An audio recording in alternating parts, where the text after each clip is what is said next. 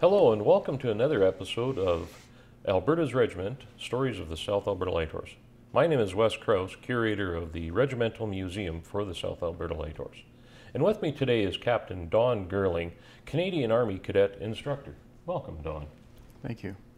It's a pleasure to be here. Uh, I've been uh, 18 years as a cadet instructor through and a past CO uh, twice uh, as a commanding officer and a member of the Regimental Association. And it is my great honor today to uh, introduce uh, the Honorary Colonel of the Regiment, Lieutenant Colonel John Ferguson. it's a pleasure that you're able to be with us today. Well, I'm just honored to be here and be able to be a part of this whole discussion that we're going to have this morning. So, uh, yeah, very, very pleased about it all. And of course, I'm very honored to be the honorary colonel. Uh, I'm very, uh, I've, looked at your biography and uh, in awe, quite frankly. It's uh, quite a uh, professional career that you've had, and I, I would really like for you to share a little bit of your professional career in the oil patch and your uh, true Albertan, I think, by what I can see of your of your uh, bio. So. Well, I guess you'd say I was a true Albertan. I was born here and raised. I've been been here all my life. My wife's an Albertan. My children are all Albertans, born here. Actually, my parents were bo both born here in Alberta, so I guess there's pretty good deep roots here into Alberta.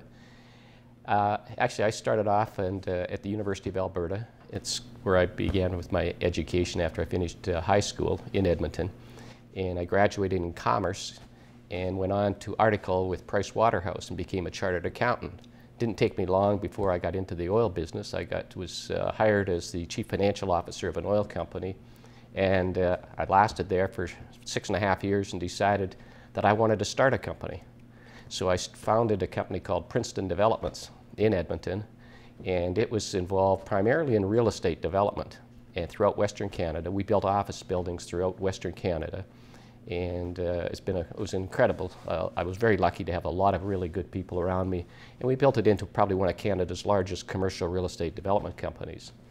So I did that. In the course of because of the success of that, I was invited to get back into the oil business in different ways along the along that time. And then, uh, in particular, I think the most what I I guess most proud of is the uh, the time I had uh, at uh, Suncor Energy where uh, I was asked first on the board and then I was asked to be the chair of the board. And be, to be at Suncor during that period of time when we acquired Petro-Canada was quite a significant time. So I've been very fortunate along the, along the way. There's a lot of other little things, but uh, those are just things I thought would be of interest. And you have a connection, a, a greater connection with the University of Alberta as uh, a chancellor, I believe? Yeah, I was originally asked, and I, I uh, accepted that. I was the chair of the board at the university, and I did that for three years. And uh, later on, I thought, uh, I thought that was my days at the university were finished, and then I was asked if I would be the chancellor. And I was the chancellor from 2000 to 2004. A very, very delightful role to have and in a great institution. Now, in your role as a chartered accountant, I understand that you have a rather uh, unique award that was presented to you. Could you describe a little bit of that for us? Yeah, again, I was uh, uh, very honored that uh, that I've got a, what they call as a Lifetime Achievement Award. First of all, I'm a, a fellow of the Institute of Chartered Accountants. I figured that was the ultimate of the uh, honors that I'd ever get. And then beyond that, uh, to my total uh, surprise, is that I was awarded this Lifetime Achievement Award. And there's probably, a, I think there's probably about only 20 of us in the history of the Institute of Chartered Accountants of Alberta that have that award and that's for what uh, I guess for what contributions to the institute and to the community as a whole. So, yeah, I'm very honored about that.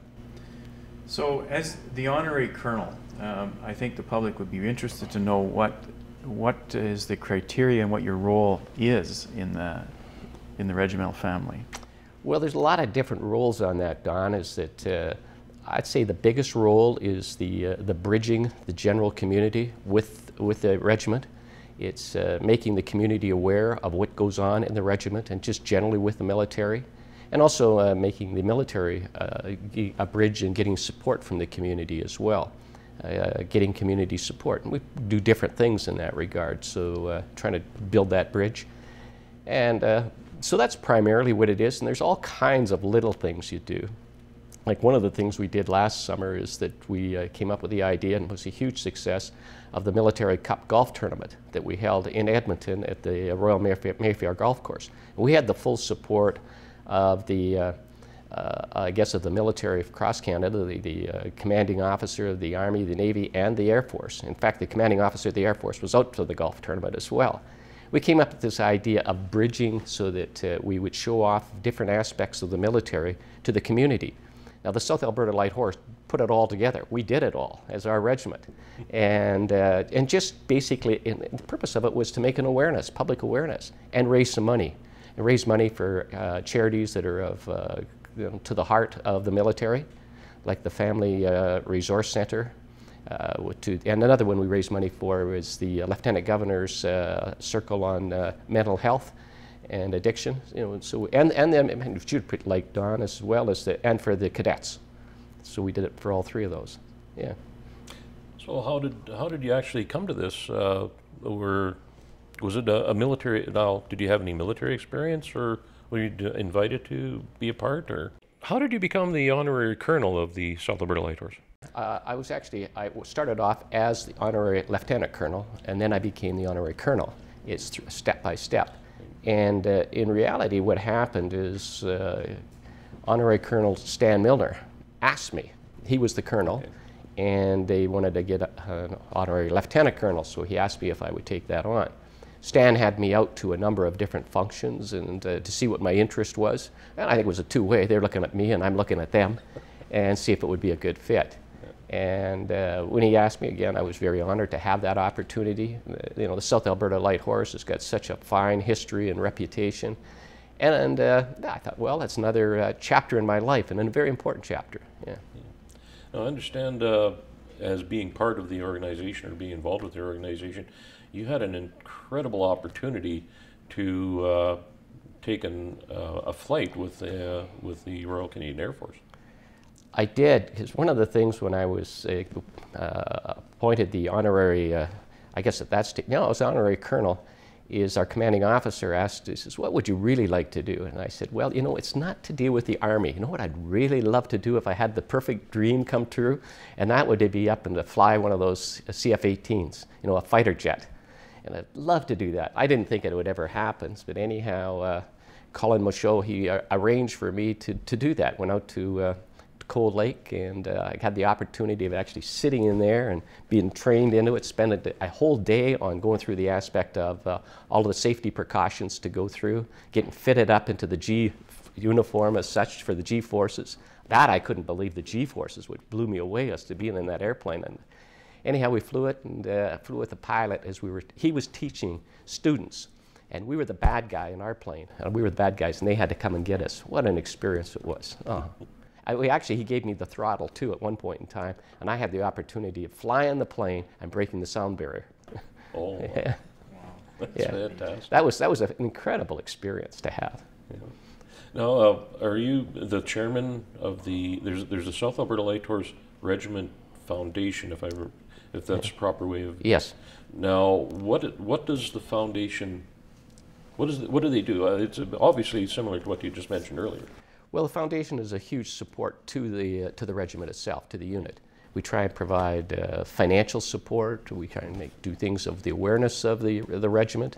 And actually, my role, Stan Milner, I told him he had to stay on after he stepped down as the honorary colonel, and he is the uh, the chair of the board of the foundation and I'm the president, I guess, of the foundation. And uh, we, we work hard at this of uh, making the awareness. And that was where we got the idea of the military cup, uh, to have that military cup golf tournament and raise some money. Again, and making an awareness in that regard. And that's a little bit of what the foundation does. Just different things for awareness and also to try to provide some uh, financial help. And have the public been quite receptive to that? Yeah, I don't think the public is all that aware of it. We try and yeah. don't make the foundation the forefront of everything. Right. We certainly want to make sure the unit is the forefront and uh, that we don't get it, don't put the, the cart in the front, uh, ahead of the horse. It's my understanding that the foundation provides uh, some educational bursaries for some of the young soldiers. Yeah, we do. We've uh, had this as a tradition for many years, is that all of our soldiers in any kind of uh, post-secondary education, we give them the opportunity of uh, of uh, receiving a scholarship, and uh, and we'd go up to I think we're uh, up to uh, 20 a year, like thousand dollars each. So it'd be twenty thousand dollars available for scholarships to any of our members of the of the regiment that are into any kind of a post-secondary program, really of almost any type. Uh, last year, I think we only had about seven of those, unfortunately, but it, it's, it's, all available, and we'd love to get it up to a few more. Yeah, but that's a little, again, another role of our foundation, which we do. And it, it, it not only helps for those young people that are doing that, but it helps in the recruitment as well, because it does, there's something there in that regard. Yeah. Well, with your background with uh, education uh, and uh, your tie to the university. Obviously, uh, development, I think, is you're you're an ideal fit for for those types of things. Um, wanting to be able to develop the the youth of our yeah. of our uh, nation and yeah. Well, I have to mention to you about one thing that I'm doing right now with my wife. Is this a, it's a big program that we've got. Uh, we're taking on the role of creating the, the Peter Lougheed Leadership uh, Initiative here in Alberta, which is a collaboration between the University of Alberta and the Banff Centre to create an organization that will enhance the uh, learning, the, uh, the leadership abilities of our young people. And it's bringing the two together with the, uh, the Peter Lougheed Leadership Institute at the Banff Centre and the Peter Lougheed Leadership College at the U of A, bringing the two together. It's, it's, it's again, building on the, on the youth and the, who are the future of, for tomorrow. Yeah. Now, also reading your bio, it, you've been involved in so many organizations. Uh, it's almost uh, too many to even mention. We could take a, an entire day just talking about all the organizations you've been involved with. But there's something that's really kind of that stood out, um, and it was three words: the Order of Canada. Mm. Can you give us some insight as what was that all about? Well, when you're mentioning the Order of Canada, I have to say I can't help but say that. Uh, uh, I'm the second one in our family to get that. My wife got it first, and was she and she had all the bragging rights around that. She was uh, inducted as a member of the Order of Canada about two years before I did for all of the things that she did. And I was very proud of her and went down to Ottawa to Rideau Hall and, uh, and when she uh, yeah, got the award. And then, uh, to my total surprise, is uh, I thought that was that was it for our family with that is uh, I get a call uh, to indicate that I'm also uh, uh, becoming a member. And it was for really for my uh, work that I've done in the area of business and also for my work in post-secondary education, specifically at the University of Alberta. Those were the two things that were specifically referred to. So I was very, obviously very proud, but I think what's really special about it, there's not many husband and wife teams that have the Order of Canada. yeah. Well, that's uh, that's incredible. Yeah. Uh, and uh, as you, as we talked earlier, uh, your contributions to Alberta have been quite quite numerous. Is there any singular or group of uh, contributions or activities that that stand out in your mind that are really something really incredible? Well, I, uh, I can't think of anything specifically that yeah. for what I've done or been a part of. I think I've just been very fortunate to have been in Alberta. I mean, we can't think of a better place to be. I say that I'm the luckiest guy in the world. And a big part of why I'm so lucky is just I'm here in Alberta and there's so many opportunities here. Yeah. So, and what does the future hold? Well, now with oil prices down, there's a little more challenging, but uh, we've been through this before and uh, we'll go through this again. And uh, the future is always great because it's just the spirit of Alberta. I mean, Alberta's got a spirit that's different than anywhere else in North America. It's a, you know, it's a spirit of we can, you know, we can do it and it's and we do and it's, it's a wonderful place. I always call it a first generation. When people come to Alberta, it's not of who your father was or anything like that. It's who are you and what can you do. I think that's what's special about Alberta.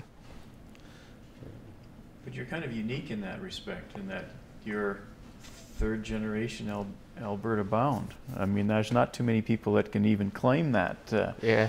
Uh, I can only claim even for being first generation Canadian, let alone first generation Albertan. But uh, uh, what uh, you you had some talking about your uh, your family a little bit would be interesting to know about your your father's uh, experiences. Yeah, my father was born in in Tofield, Alberta, and he he he served in the in the military in the army in uh, around the time of the Second World War. He didn't go overseas, uh, and then he uh, then after that he worked for the Edmonton Public Transit System. The uh, the bus. my dad drove a bus for 35 years after that. That's that was his background relating to that. So uh, that was his background, and uh, his parents came to Canada, I guess back 1800s, and went to Quebec, and then came to Alberta about in the early 1900s. My mother's side of the family came from England. They came in about 1905. They came right to uh, St. Albert, actually. And uh, that's where that's sort of the family started from, with the two branches coming together there. Uh, now, uh, myself and then uh, of uh, our children, our three boys, were born here. unfortunately, we only got one left in, in Alberta, and he's the uh, president of the Edmonton Economic Development Corporation, Brad. And everybody knows him. Now I'm noted and I get introduced, I'm Brad's dad rather than the other way around, which is kind of cool. And I have one son that's living in uh, Shanghai with his family and another one in the Okanagan. But Shanghai. yeah, in Shanghai. Everything was great. I didn't mind him going over there, but he took our granddaughters too. yeah. Well, I think uh, the reason I asked that question is because uh, you know we we talk about the South Alberta Light Horse as Alberta's regiment, which it truly is, and I can't think of anybody that fits better, uh, given the history of who you are and what you are, that that uh, you've um, become and taken on that uh, task of being the honorary colonel. I mean, you're a great ambassador for the province and for uh, uh, the regiment, and uh, that for the future. I don't know what you, how you see the future, but I'd be interested to know some of your thoughts there. When you say the future of uh, of the regiment and your involvement, uh, well, I'm certainly going to be involved. That's for sure. And uh, the regiment, we just keep working hard at the situation of uh, making sure the recruitment is as strong as we can make it, and functioning that way, and uh, continuing to make uh, the regiment noted as Alberta's regiment is that uh, the more that we can do to make sure that people know a little more of the history of the regiment and uh, the contributions it's made. I mean, there's so many components, as, uh, as you would so well know, Don, of how it was all brought together, the many pieces brought together for the South Alberta Light Horse. And uh, the more that we can share that story with others, the, the, more that I'd say that Albertans will be proud of the regiment as well. And I, I just think I have that role of uh, helping to uh, tell the story. Yeah. And how do you find uh, uh, when you're involved in the business, your business part of the world, when you sort of uh, are trying to promote the regiment, so to speak, uh, how, how, do you find the reception? Well, people are very proud of the military generally, you know, and people have the opportunity I'd say 90% of Canadians are very proud. There's always going to be the naysayers that are over there, but 90% of Canadians are very proud. So anything that you can do and say that's uh, positive about the South Alberta Light Horse, people sit up and take notice and they want to be supportive in any way they can. It's a little bit about telling the story more than anything else. And, uh, you know, as, you would know so well, is the Canadians are very proud people of, of the achievements of what our military has done over the years. No, yeah, again, reading your bio, um, there's quite a few mention, or there's a mention of quite a number of awards that you've received, and uh, it, it were they related to your business work? Oh gosh, uh, uh, probably, yeah. You know, it's uh, it certainly would relate to the different things that I have done. Um, I, will share with you that I, I, I wrote a book about four years ago I didn't know I was going to write a book to start it, and it was really to share my life experiences uh, with my grandchildren. And it was just so I just started the various chapters of putting it all together in the different parts. Then I came to the part of saying, okay, what am I going to call this book? You know, this wasn't a book for for sale, but it was just really for family and, and for friends. And so what I and I said, you know, I just have to say the perfect title for it. I call it. I titled it "Born Lucky." And uh, I think that tells it all that I just was born lucky and everything I've been around, I've been lucky at. Well, your contributions to Alberta have been incredible. Um, and it's very much appreciated. And I think we, we mentioned before, um, you've got a lot on your plate, so to speak. Um, how do you, how can you balance your time? It, it must be very challenging. Well, I, I never find it challenging. Is that uh, you know you, you don't take on something unless you know that you're going to be successful at it, and uh, it's amazing how it's not whether it be me or others. It's usually if you're looking for, you know, you want the right person, you find a busy person, because and they're usually the ones that'll do the job for you. And uh, you know, I've always been busy at things. I mean, I. You know, I still like to go into the office by 7:30 each morning, and I don't come home for supper too early at night either. So, but that's, but I love it. You know, I love living life to the fullest and uh, taking on more responsibility, and variety of things. I love to have lots of varieties. I always tease that's another chapter in my life. I always say of doing something different, and uh, you know, in my role as the honorary colonel, that's another important chapter in my life. Are there any other um, projects that the foundation are, are currently working on in support of the regiment? Uh, I don't think there's anything specific. There's a few bunch, there's a whole number of ideas we've got, but there's nothing really that I can put my finger on to say there's a specific project right now. Yeah. Yeah. I, you know, one of the things I'd like to see if we could do is that in a couple of years is to again do the military cup again, but I'd like to do it in Medicine Hat. You know, I think that would be ideal. It uh, uh, it would be ideal to move it around, but particularly where it has close ties with the you know with the Sally Horse. Yeah. Definitely. Well, um, I don't know if we have anything else. What would you like to? Uh, Not really. Uh, the- You're, uh, uh, you're quite an open book. I don't even know where to start to ask you some Oh, more yeah. questions. I'd like to pick, a- w- pick away at a bit more of your experiences, but uh, um, uh, you're uh, ex- extremely well versed in, in, uh, in Alberta and, and in the business world, and, and you're a tremendous asset for the regiment, which is, uh, Yeah. that's, I guess that's a statement, not a question, but uh, Well, you're very kind. Those are nice, kind remarks. I appreciate that. I think they're uh, a little bit over the top, but I mean, it's. Uh, thank you. Well, sir, we really appreciate you taking the time to join us. Uh, I got a feeling we could probably talk for hours and hours of the things you've done in your business life uh, relating to the regiment as well, too. Uh, but we really do appreciate you taking the time to join us uh, this morning. Thanks, Wes. I'm just delighted to be here with you guys. Very Thank you. good. Ladies and gentlemen, thank you for watching another episode of Alberta's Regiment. Excellent, well done. Wes, I'm gonna get you to ask one question. I cut to Don instead of you.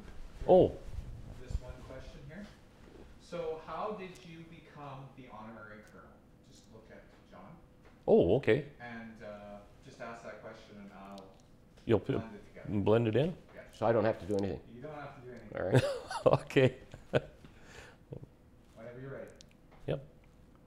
So, how did you become the uh, honorary colonel of the uh, the honorary colonel? Let's do that once more. So the honorary colonel of South Alberta Light Horse. Got it. Okay. It takes three or four tries. Yeah, I, you know. I know. I know.